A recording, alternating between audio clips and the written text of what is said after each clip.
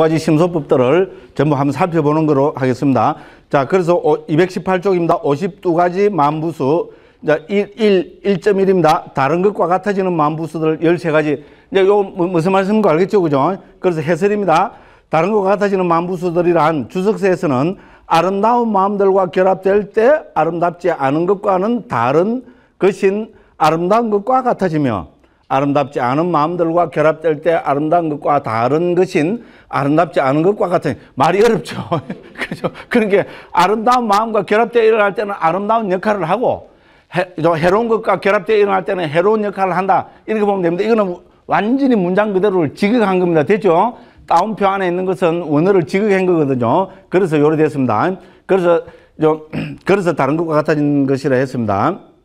즉 이들은 유익한 마음대로서는 유익한 것이 되고 해로운 마음대로서는 해로운 것이 되고 업으로 결정할 수 없는 무기인 마음대로서는 무기가 된다. 그래서 다른 것과 같아지는 것들을 한다. 또 이것은 전부 뭡니까? 반드시들과 때때로들 있죠. 반드시들은 일곱 가지입니다. 다른 말로 하면 뭡니까? 이, 지금 나오는 이 일곱 가지는 말 그대로 모든 마음이 일어날 때. 그죠? 그래서 뭐 방한 것뿐만 아니고 저 가장 미약하다는 우리 안식, 이식, 비식, 설식 같은 이런 가장 뿌리 없는 미약한 마음이 일어날 때도 이 일곱 가지는 반드시 함께 일어난다는 겁니다. 자, 그래서 그 일곱 가지입니다. 그게 뭡니까? 감각, 접촉, 느낌, 인식, 의도, 집중, 생명기능, 마음의 잡돌이함. 자, 그래서 그죠? 촉수, 상사, 그 다음에 뭐, 그죠? 집중, 명근, 자기, 이렇게 하면 되면 되죠. 북방에서는, 북방 아비달마에서는 다섯 가지를 듭니다. 촉, 작의, 수, 상사. 이 다섯 가지를 듭니다. 상자부에서는 여기다가 생명기능, 그 다음에 뭡니까? 집중까지 넣어서 예, 일곱 가지를 들고 있습니다. 자, 그래서 이 일곱 가지는 모든 마음에 공통되는 만부수법들을 한다. 이렇게 했습니다. 그죠? 아, 그래서 해설입니다. 대상을 아는 것이 마음이다라고 정의하는 것은 이미 알아보았다. 마음이 대상을 알기 위해서는 반드시 위의 일곱 가지 만부수의 작용이 함께 해야 됩니다. 그렇죠? 마음은 뭡니까? 왕은 그냥 왕이 어디 정치인이 사회문화 다 합니까? 그죠? 예, 왕은 당지면 그 사회만 합니다. 예를 들어서, 그죠? 이제 뭐 그런 역할입니다. 그래서 이제 첫째, 마음이 일어날 때는 반드시 감각 접촉이 같이 일어난다. 이 감각 접촉의 기능이 없으면 마음은 결코 대상과 맞닥뜨릴 수 없다. 됐죠? 여기서 감각 접촉은 3, 4 화합 2촉이라 했습니다. 대상과 눈과 눈의 아르마리가 만나는 것. 이거를 우리는 감각 접촉이라 합니다. 그렇죠? 마음이 대상을 알기 위해서는 반드시 대상과 조우하는 그런 역할을 하는 마음부수가 있어야 되고요. 그죠? 마음이 대상을 안다는 것은 가장 우리 중요한 것 중에 하나 느낌이죠. 대상을 뭡니까? 정서적으로, 감정적으로 이해하는 것. 됐죠? 그 다음에 세 번째는 뭡니까? 우리는 대상과 마주치는 반드시 뭡니까? 대상에 대한 인식이, 지적인 반응이 일어납니다. 그 다음에 대상을 알려는 뭡니까? 최소한의 의지, 자극이 있게 됩니다. 그것을 우리는 의도로 합니다. 다섯째는 뭡니까? 대상을 알기 위해서는 미약하지만 대상에 순간적으로도 집중이 돼야 되겠죠. 그죠? 예, 아주 미약하지만은 집중이 없으면은 그 대상에 우리는 죠, 그 마음이 대상을 알 수가 없습니다. 그 다음 뭡니까? 당연히 우리 뭡니까? 음, 음, 우리 그죠 마음과 우리 정신작용, 정신현상이 살아있어야 되겠죠. 그래서 명근이라 합니다. 그래서 우리 상자부에서는 생명기능이 두 가지가 나옵니다. 자, 여기서 말하는 뭡니까? 심소법으로서의 명근이 있고, 우리 뭡니까? 살아있는 몸에는 육체적인, 그죠? 몸의 명근이 있겠죠. 생명 기능이 있겠죠. 그죠? 그래서 상자부에서는 두 가지 명건을 인정합니다. 북방에서는 한 가지만 인정합니다. 예, 육체적인 생명 기능만 인정합니다. 또 그 말도 또 말, 말이 맞아요. 육체가 살아있으면 그 몸이 작용을 하기, 그죠? 마음이 작용을 하니까 육체가 살아있다는 말이겠죠. 그죠? 예, 그런데 상자부에서는 이걸 두 개를 구분해서 정신적인 생명 기능도 이거는 그죠? 인정을 하고 있습니다. 아, 요렇게 해서 요 일곱 가지는 뭡니까? 다른 것과 같아지는 것들 가운데서도 반드시 드립니다. 자, 여기서 다른 것과 같아지는 것이란 말은 뭡니까? 자, 마음이 일어나서, 그죠? 쪽작의 수상사는 전부 해로운 역할을 하는데 동화가 되어버린다는 겁니다. 됐죠? 그죠? 뭡니까? 느낌도 있잖아요. 뭐, 해로운 느낌이, 그죠? 그 괴로운 느낌. 해로운 역할을 하는, 그죠? 그 마음과 일어나면은 해로운 역할을 하고. 무슨 말인지 알죠? 그죠? 특징 중에 하나는 뭡니까?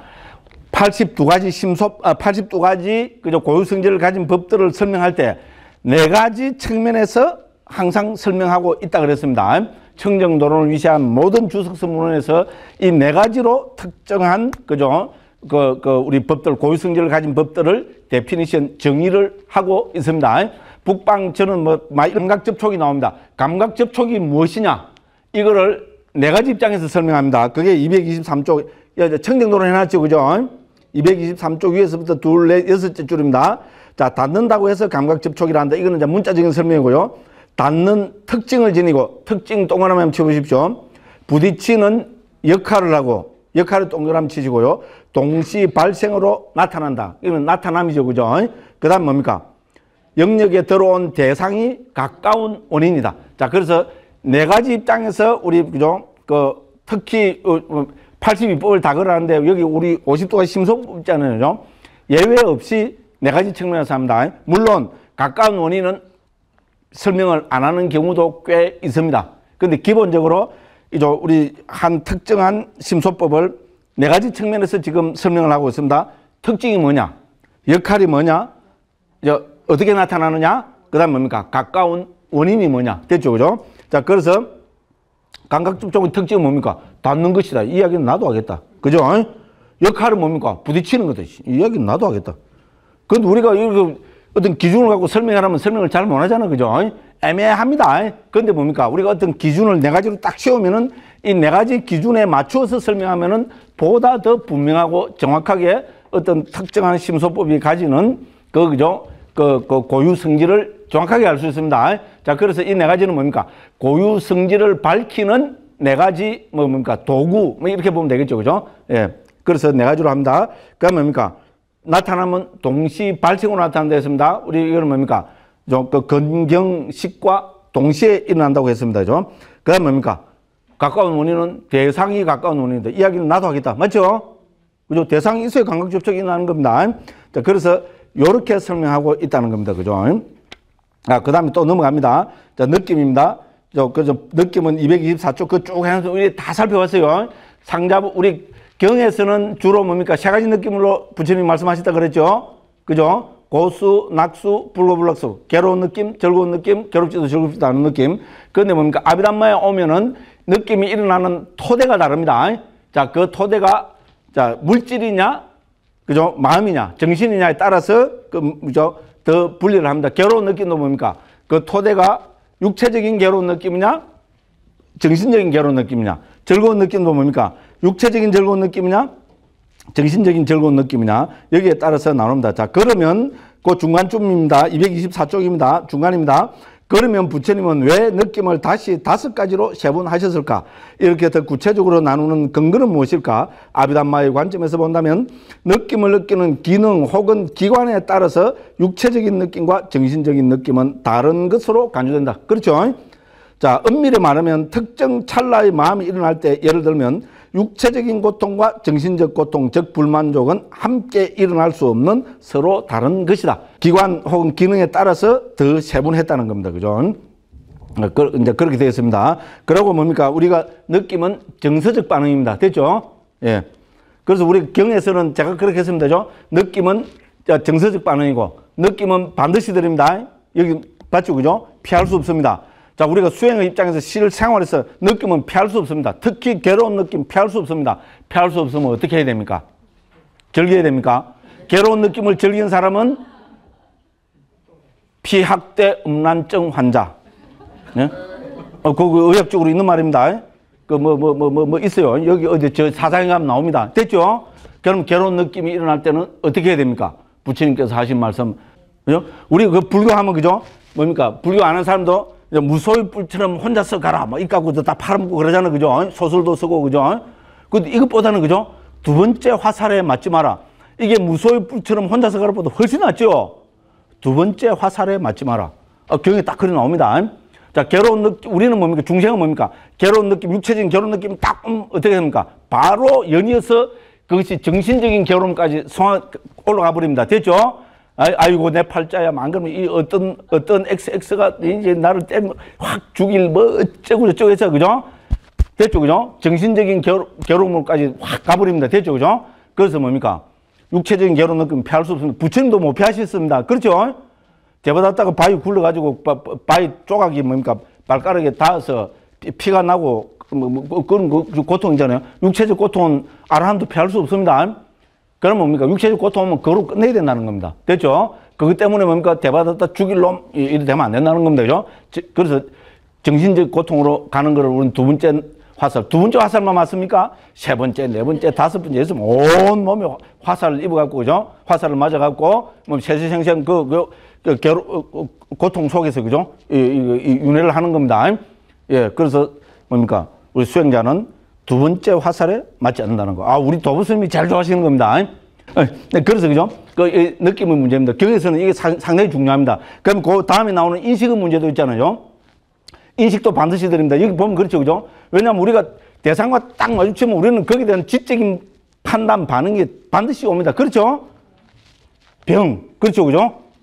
아, 그게 아주, 막 병까지는 다음처럼, 예를 들어서 청황적백 구분하는 거 있잖아요, 그죠? 싹 하면 청황적백 구분하죠? 이건 지적인 반응입니다. 그렇죠? 그죠? 꽃, 감는데 꽃이 타면 냄새 보통, 어, 이런 건 뭡니까? 느낌입니다. 그렇죠? 꽃은, 어, 샤넬 number five. 이거는 뭡니까? 지적인 반응이죠? 그죠? 그래서 우리가 향기가 와도 있잖아요. 그죠? 예, 감정적인 반응과 지적인 반응이 함께 옵니다. 맞죠? 예, 그렇습니다. 자, 그래서 인식도 피할 수 없습니다. 인식이 피할 수 없으면 어떻게 해야 되겠어요? 예? 예, 인식은 부처님께서 버려야 할 인식, 닦아야 할 인식으로 나누어서 말씀. 이 초기경 보고 이런 걸 지적해 주는 사람은 거의 많이 없어요.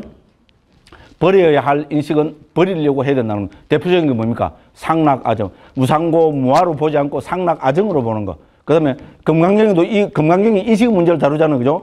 뭐 어떤 인식? 아상, 인상, 중생, 수사상. 자아가 있다. 개아가 있다. 중생이 있다. 영혼이 있다는 이 고정관념 잘못된 인식은 버리는 거. 됐죠? 그죠? 예, 그 다음에 뭡니까? 뭐, 그 다음에 그 버려야 될 우리 예를 유신경 같은 거 있잖아요. 예, 그런 것이고. 그 다음에 중요한 거는 뭡니까? 부처님께서는 닦아야 할 인식을 아주 강조하고 계십니다. 이거를 지적하는 사람들은 많이 없어요. 어떻게 보면 제가 거의 뭐 최초라고도 할 수 있습니다. 특히 안구 따르니까 보면 부처님께서 있잖아요. 닦아야 할 인식을 여러 조합으로 말씀하고 계십니다. 다섯 가지 닦아야 할 인식, 여섯 가지 닦아야 할 인식, 일곱 가지 닦아야 할 인식, 뭐 아홉 가지, 열 가지, 열한 가지 이렇게 해서 그죠? 닦아야 할 인식을 계속 또 강조하고 있습니다. 됐죠? 인식이 피할 수 없는 거라면 우리는 어떻게 됩니까? 그죠? 바른 인식, 닦아야 할 인식을 가지려고 노력해야 될 겁니다. 죠? 자, 요, 요, 요 런 식으로 되어 있습니다. 자, 그래서 그죠? 여기서 또 중요한 거는 뭡니까? 자, 그래서 느낌을 설명하고 그죠? 225쪽입니다. 그 밑에, 중간에 밑에 보면 128번 있죠? 그럼 여기서 뭡니까? 즐거운 느낌을 뭐로 관찰합니까? 즐거운 느낌의 특징이 뭐냐? 그죠? 역할이 뭐냐? 어떻게 나타나느냐? 가까운 원인이 뭐냐? 요를 살펴보고 있죠? 128번 차시죠? 그죠? 그럼 고통도 뭡니까? 예, 특징이 뭐냐? 역할이 뭐냐? 그 어떻게 나타나느냐? 가까운 원인이 뭐냐? 됐죠? 그럼 정신적인 즐거움인 기쁨도 뭡니까? 특징이 뭐냐? 역할이 뭐냐? 한장 넘기면 그죠? 어떻게 나타나느냐? 가까운 원인이 뭐냐? 다 살펴보고 있죠? 그 정, 정신적 괴로움인 그죠? 불만족도 특징이 뭐냐? 역할이 뭐냐? 어떻게 나타나냐? 가까운 원인이 뭐냐? 그죠? 그 다음에 평온의 느낌 있잖아요. 중립적인 느낌도 똑같이 해서 역할, 그죠? 어, 그 특징, 그죠? 역할, 나타남, 가까운 원인. 이렇게 살펴보고 있습니다. 됐죠? 그럼 그 밑에 보면 인식. 인식의 문제가 있습니다. 그래서 그 제가 그거다가죠. 226쪽 밑에서부터 네 번째 줄입니다. 느낌이 예술적이고 정서적인 심리 현상들의 단초가 되는 것이라면 인식은 지식이나 철학이나 사상이나 이념과 같은 우리의 이지적인 심리 현상들의 밑바탕이 되는 것이다. 그렇죠. 그죠? 이렇게 제가 한번 그걸 해봤습니다. 그래서 그 보면 인식의 130번에 보면 그죠? 227쪽입니다. 중간 밑에 130번 보면 인식의 특징은 뭐냐? 역할이 뭐, 역할 표상을 만드는 역할을 했습니다. 그렇죠? 우리는 인식을 할 때 있잖아요. 이게 그죠? 이미지로, 이미지화가 되든 안 되든 우리가 인식을 한다는 것은 전부 어떤 식으로든지 표상을 만들고 있습니다. 그렇죠. 그죠? 특히 청중 노래에서는 이걸 지정합니다. 자, 그죠?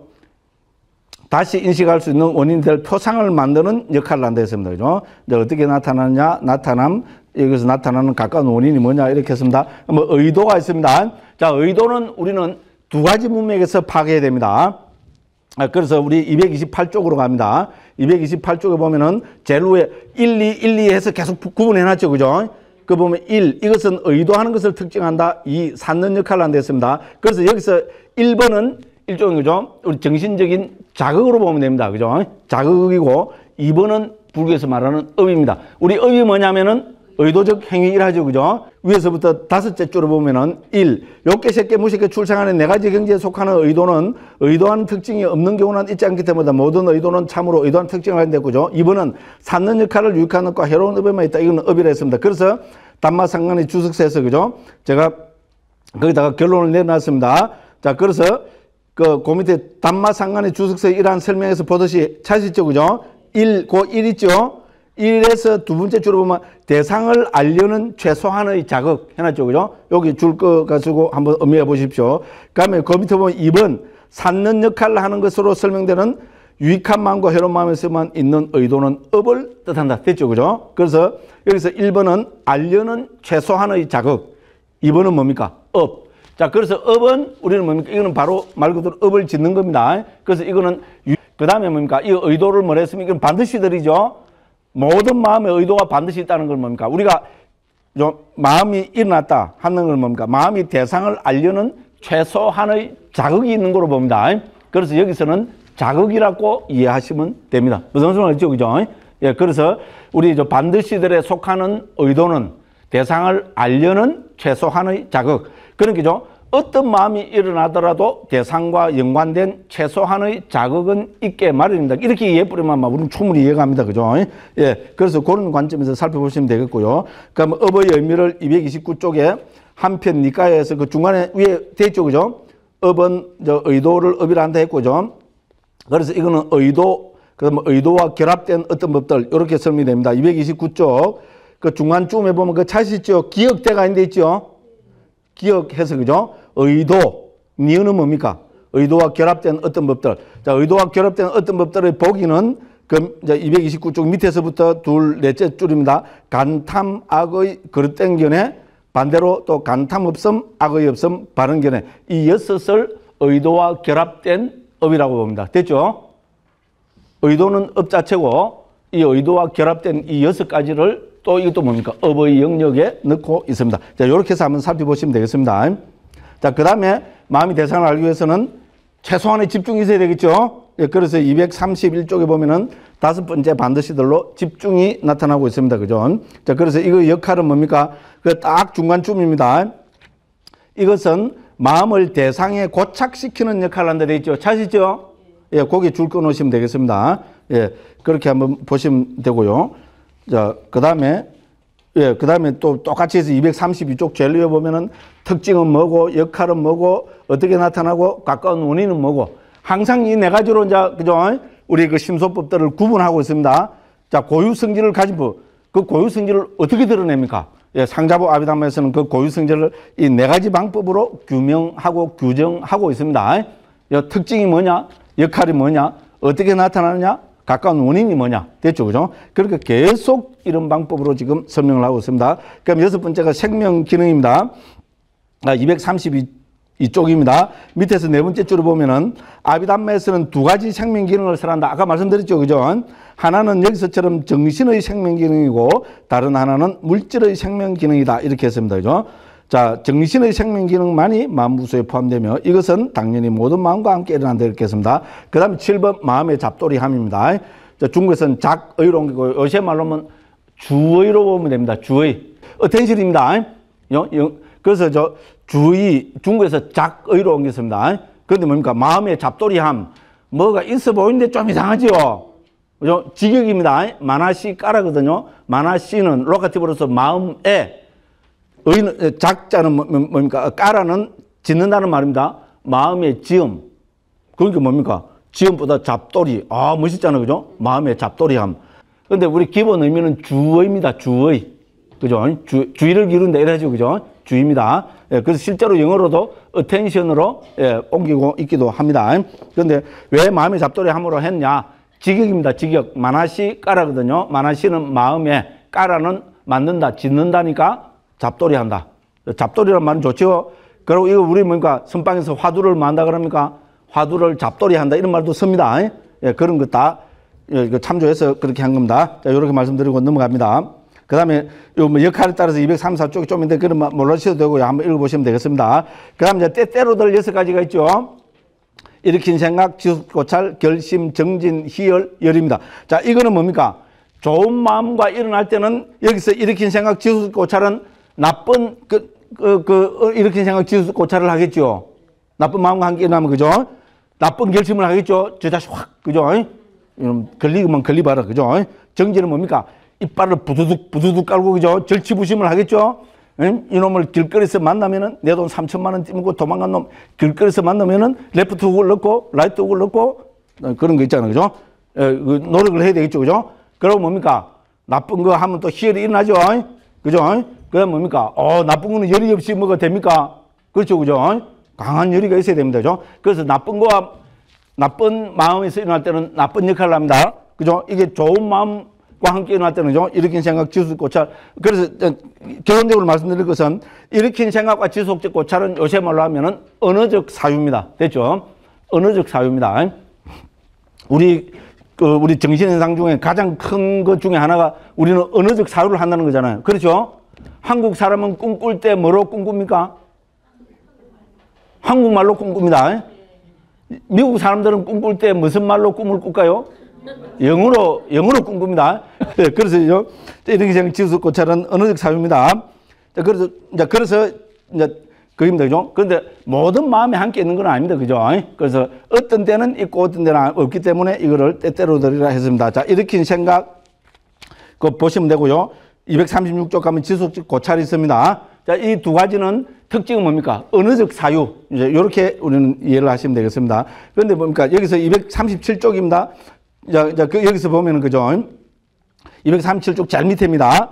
처음으로 마음이 대상을 향하여 돌진함이 일으킨 생각이고, 자, 미세하다는 뜻에서 또 고찰하는 고유성질로서 마치 종의 울림처럼 계속해서 일어남이 지속적 고찰이다. 됐죠? 그래서 불교에서는 언어적 사유를 이렇게 두 가지로 고유성질을 별로 나누어서 설명합니다. 됐죠?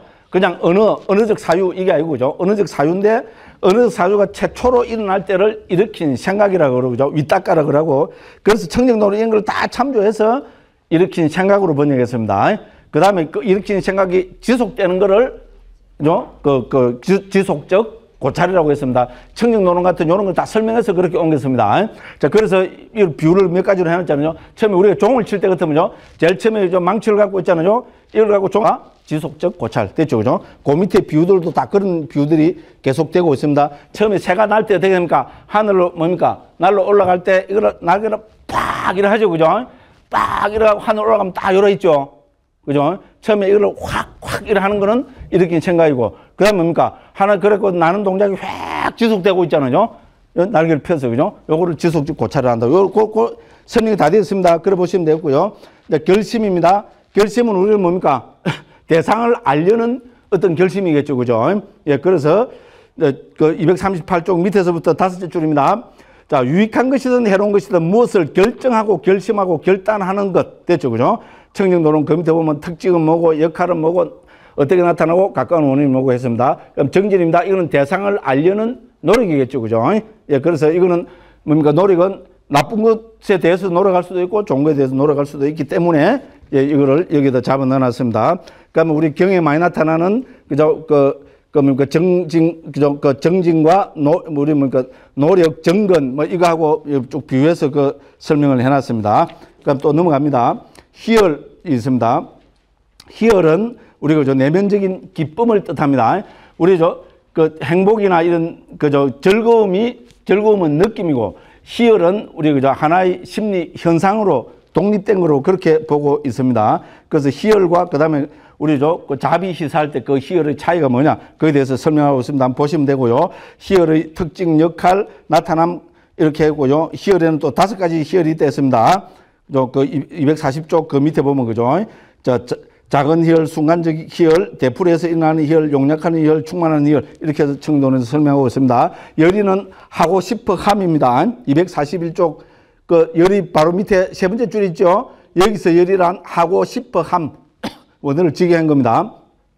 자, 그래서 비난받아야 한다는 의미를 가지고 있는 탐욕이나 갈망과는 구분이 됩니다. 그렇죠? 우리가 좋은 것도 좋은 것을 성취하기 위해서는 열의가 있어야 됩니다. 그렇죠? 이걸 우리 저 우리 뭐 성취하는 거로 하면 우리 뭐 뭔가 발원 이런 거 있잖아요. 그죠? 그렇죠? 뭐 뭔가 우리 좋은 것도 열의가 있어야 성취가 됩니다. 그죠? 이제 그래서 이거는 다른 것과 같아지는 것들에 넣고 있습니다.